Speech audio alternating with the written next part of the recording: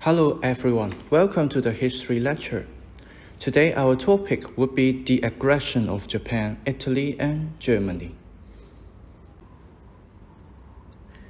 First of all, let us have a revision before talking about new issues.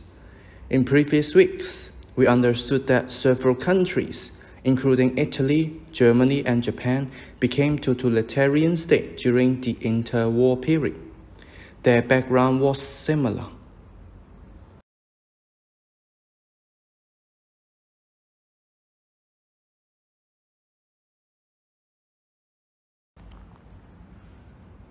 There were two major reasons. Politically, the original governments of these states failed to gain what the people expect in the peace settlements after the First World War.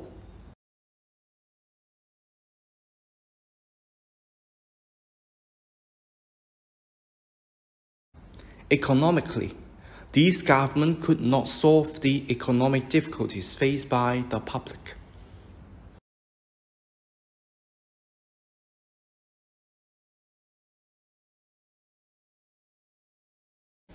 As a result, there was the rise of dictators like Mussolini in Italy, Hitler in Germany.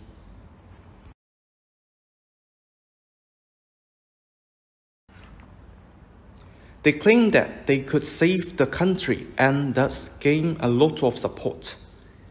Eventually, they got powers and become dictators of their own country.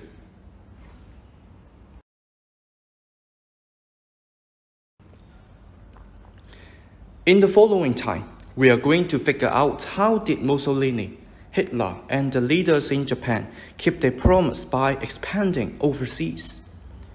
These aggressions finally caused the Second World War in 1939.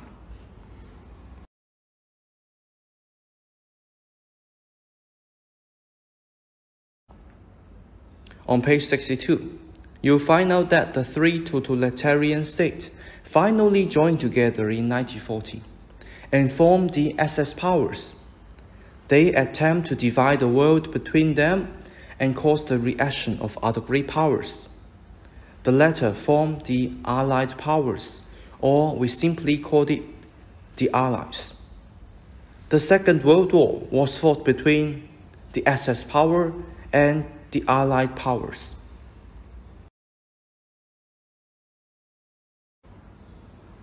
Important members of the Allied power include the Soviet Union, Britain, the United States, and China.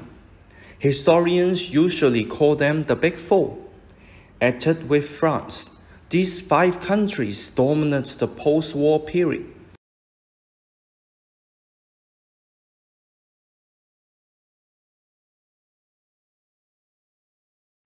They were all permanent members of the Security Council of the United Nations up to now.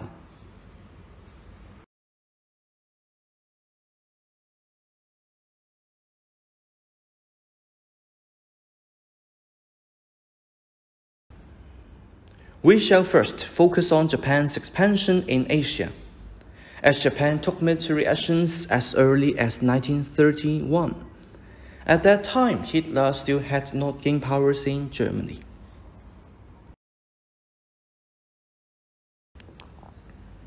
Please first do highlighting for the related timetable.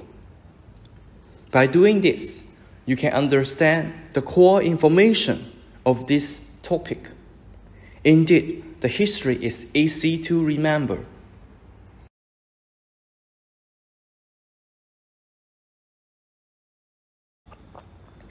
Japan's main target was China. It was because, on one hand, China had a lot of natural resources.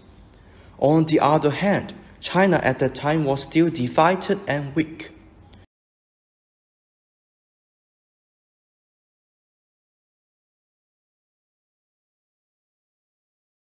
Japan took this opportunity and determined to turn China into her colony. As a result, this would help stimulate their national economy as well as their national prestige.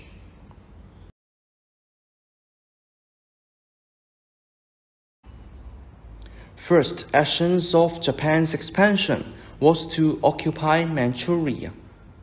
Manchuria was a large piece of land which was rich of natural resources such as coal and oil. It was next to Korea, a Japanese colony since 1895. Japan claimed that the Chinese army in Shenyang launched an attack against Japanese railway and used this as an excuse to occupy Shenyang and then hold Manchuria. Historians usually called it the Shenyang Incident. One year later, in order to legitimate her rule over Manchuria, Japan set up a puppet state called Manchukuo. Guo.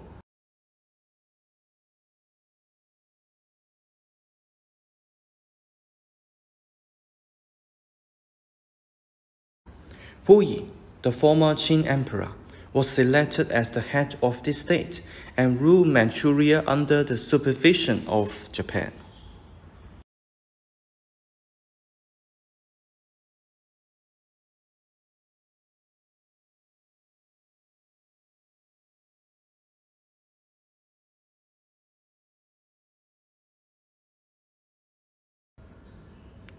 Japan continued to expand in China, and a total war did not break out until the Marco Polo incident of 1937. Japan claimed that a soldier was missing in Beijing and requested to enter the city. China rejected and war broke out again between the two countries. Chiang Kai-shek the leader of KMT and China, then declared war on Japan after that. As a result, some historians think that it should be 1937 but not 1939 as the start of the Second World War. Among the three, Italy's expansion would be the easiest to understand. Why? It was because Italy was too weak to expand. Their major target was to increase their influence in Africa, or more accurately, East Africa.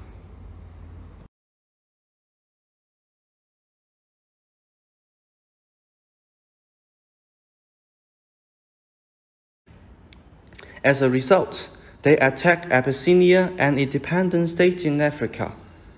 We can understand the reason of Italy's cession by reviewing the map on the right-hand side.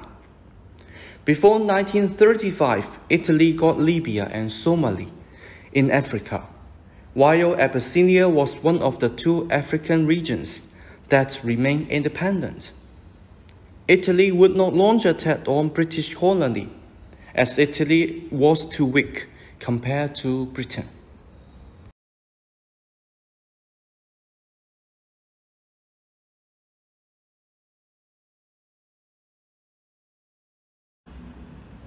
By controlling Abyssinia, Italy could connect the two colonies in East Africa and increase its influence in Red Sea. Every ship from the Mediterranean had to enter Red Sea before arriving Asia.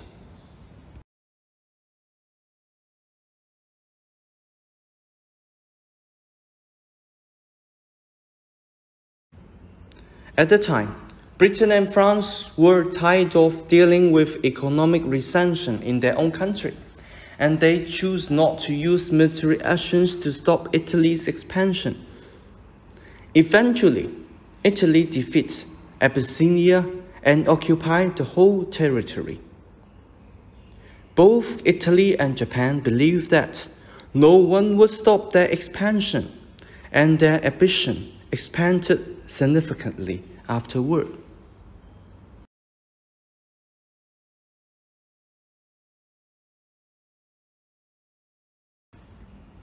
Finally, let's talk about the boss, Germany.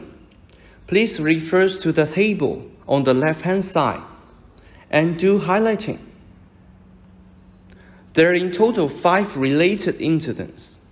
However, there are patterns to help you memorize.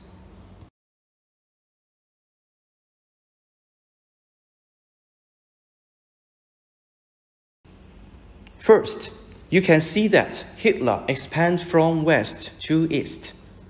First sent army to occupy the original land, the Rhineland. Then occupy Austria, Sudetenland, and Czechoslovakia, respectively. Lastly, Hitler continued to expand eastward and the next target would be Poland.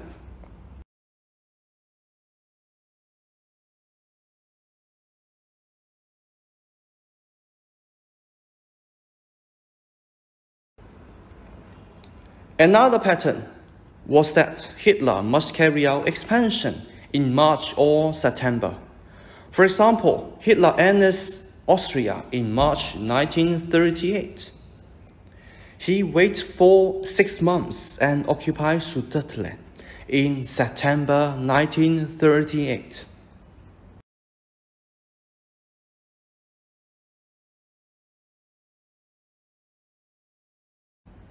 The reason was that Hitler tried to be careful not to cause resentment from other countries like Britain and France.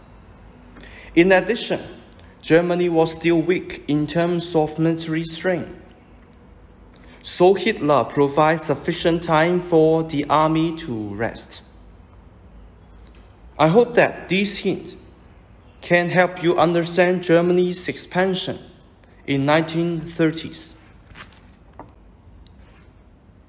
In the last line of this PowerPoint, it is time for us to do revision.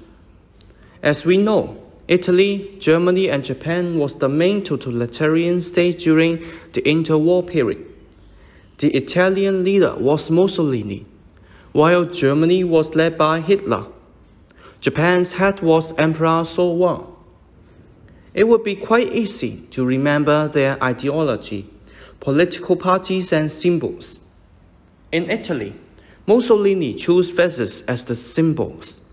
So his party was called the Fascist Party, and his ideology, fascism.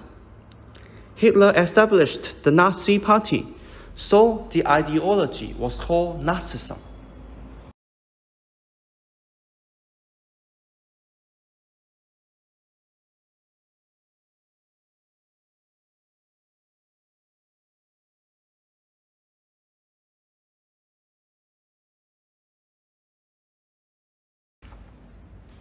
More to add here is the secret police of Italy and Germany.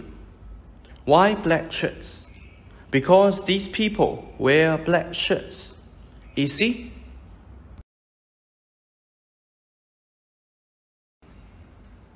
Lastly, Italy, Germany, and Japan had different targets of expansion. Italy wanted to increase her influence in Africa Germany attempted to get territories in Central Europe, while Japan's target was the Far East, more accurately, China. I hope that all of you can wisely use your time so that you can improve all roundly. See you next time.